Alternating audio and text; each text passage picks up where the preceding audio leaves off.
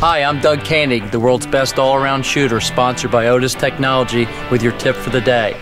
Today's tip is how to properly use Otis's patented all-caliber patches. Otis's all-caliber patches can be used on 22 caliber through 50 caliber. For 22 to 27 caliber firearms, use the outer holes on the patches.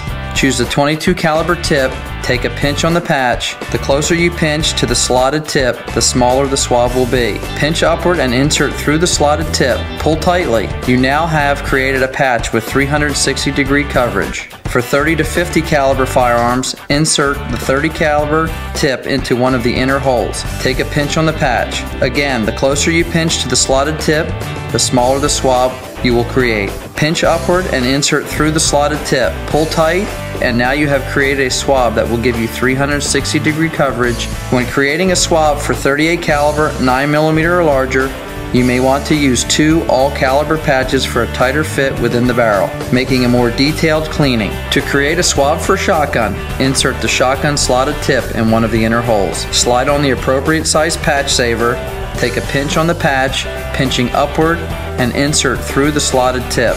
Pull tight and now you have created a swab that will give you 360 degree coverage in your shotgun barrel. These patches are unique in the way they provide up to six cleanings per patch. Otis's 2-inch patches used for 17 to 25 caliber firearms and Panoply patches used for 38 caliber or larger firearms also provide up to six cleanings per patch.